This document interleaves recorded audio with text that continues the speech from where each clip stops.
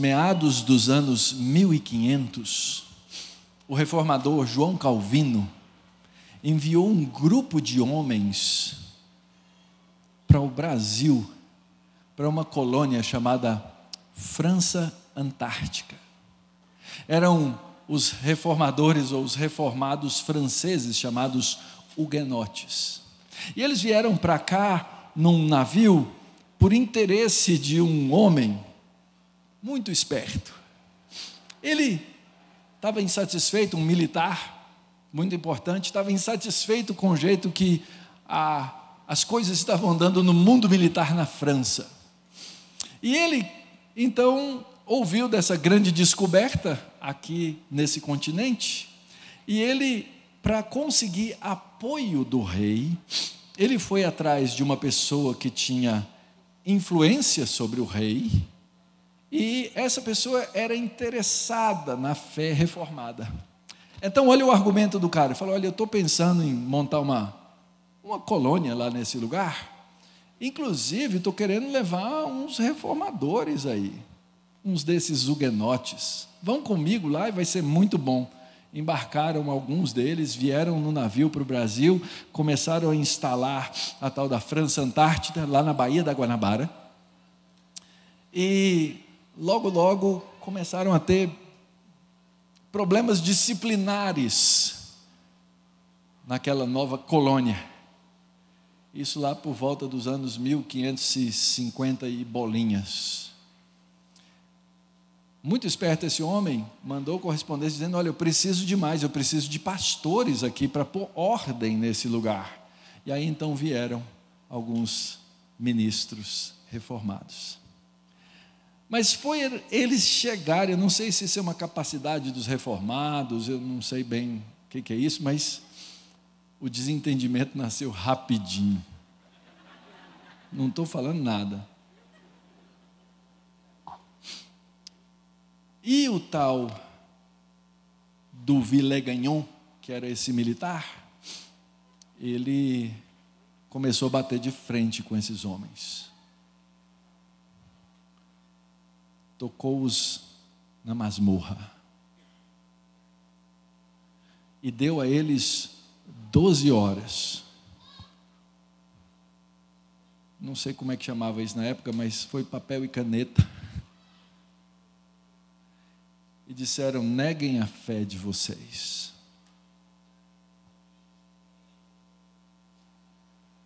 E aqueles homens escreveram a primeira confissão de fé escrita nas Américas. 1558, também conhecida como Confissão de Fé da Guanabara. Quando chamados, depois de terem apresentado aquele documento, que se a gente fosse escrever hoje, diz que foi escrito com tinta de pau-brasil. Significativo isso, né? É a fé escrita na origem daquilo que nós somos, como povo de Deus na nossa nação ele chamou aqueles homens e disse: neguem isso que vocês escreveram. Um documento de mais ou menos, umas, hoje daria umas 15 páginas digitadas. Eles se negaram a negar. Foram mortos. Gente, era tão fácil escrever outra coisa naquele papel. Era tão fácil enganar aquele homem que era o enganador. Mas eles sabiam das consequências e eles sabiam que não podiam negar a fé que de uma vez por todas foi entregue aos santos. E homens como Villegagnon e tantos outros ao longo da história vêm atacando a fé porque odeiam a fé, porque detestam a fé. Detestam a verdade de Deus, detestam a verdade e a realidade de quem Deus é, o que Ele fez, o que Ele faz.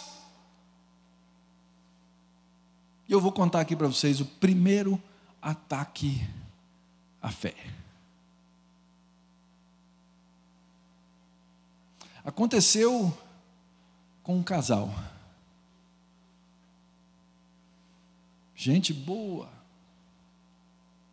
viviam num lugar agradável, com jardins maravilhosos, árvores tremendas,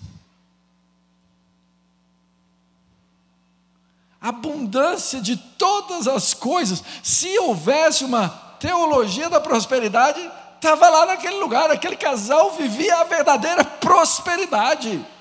Tinham tudo, eles só não podiam comer do fruto de uma árvore.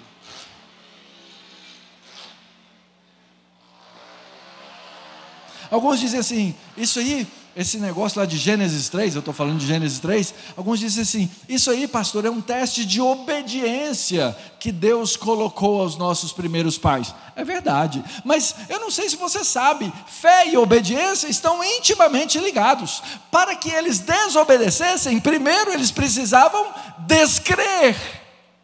E o que Deus falou, o que Deus disse, com todas as letras, não comam dessa árvore, porque no dia que vocês comerem, vocês vão morrer.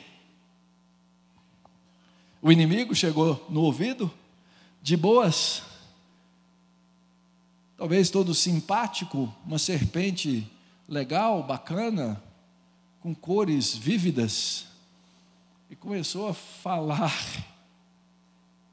e negar a palavra de Deus. Entendam isso, irmãos. O primeiro pecado nasceu de, ah, de uma proposta de se negar a palavra de Deus que foi consumada pelos nossos primeiros pais, que deveriam crer de verdade que se comessem do fruto da árvore do conhecimento do bem e do mal, morreriam. Fé não é um negócio para depois da queda. Fé é matéria essencial daquilo para o que nós fomos criados. Só vai existir um tempo em que a fé não será mais necessária. Não é isso que a Bíblia diz? É lá no fim, quando eu estiver face a face com Deus de novo.